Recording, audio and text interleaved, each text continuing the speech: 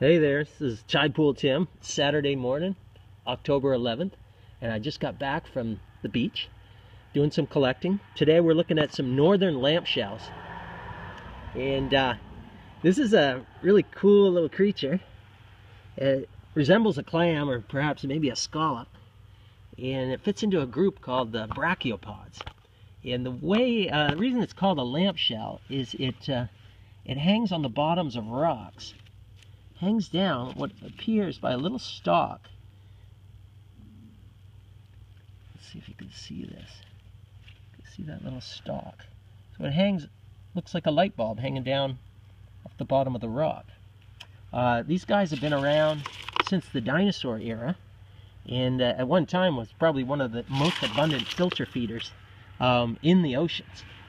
Now the average size they range is uh, big as this one, which is probably, that's the, the great, great Grampy, Grammy. And what is it, perhaps a inch across down to very tiny quarter inch, eighth of an inch in size.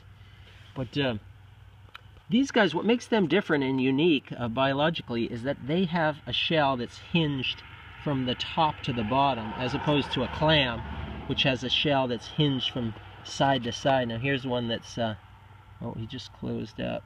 Um, you can see pretty well. And the stalk comes out of the top shell.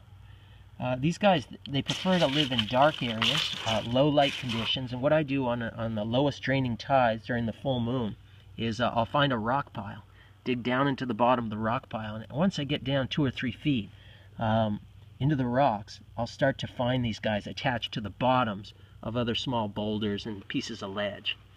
But um, uh, these are like uh, a lot of other invertebrates in the ocean. They're uh, they're filter feeders. They uh, they spawn, broadcast spawn, and the uh, the larvae, the resulting larvae, end up just floating around in the ocean until they settle out onto the bottom.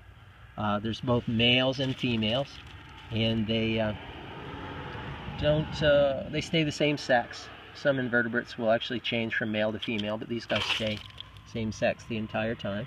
Uh, they make their shells much like a clam. They secrete from a, a layer like a mantle and uh, secrete this calcium uh, uh, substance that hardens and forms their shell. A lot of times they end up attaching to other older animals. So you can see here, there's some smaller lamp shells and some larger ones. Get all their oxygen right from the water and just a neat little little creature. And most of these went extinct during the like the Cambrian and the Triassic period. And uh, this northern lampshell is actually the only only species that we have in our cold waters here in Cobscook Bay and uh, uh, out in the Gulf of Maine.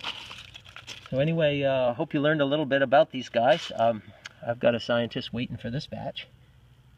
The uh, other thing I didn't guess point out is this the way the stalk comes out. The stalk's also called the pedicle, but you can see that little piece coming out of that top shell. So these guys open up their shell just a tiny bit, suck water in the sides, and then spit it out of the out of the front. And they don't seem, they've done studies trying to figure out who preys on lamp shells. And they've tested them with fish and crabs and other uh, other uh, predators in the ocean, and they must have. The scientists have figured out they must have uh, sort of not a very taste, very good taste to them because they uh, they seem to shy away from them. I don't know if it's a chemical or what it is that they put out. Anyway, uh, a little bit about northern lamp shells. If you like, uh, don't forget if you like what I'm doing here, trying to get some information out about marine life subscribe to the Tidepool Tim YouTube channel. All right, thanks a lot. Have a good day.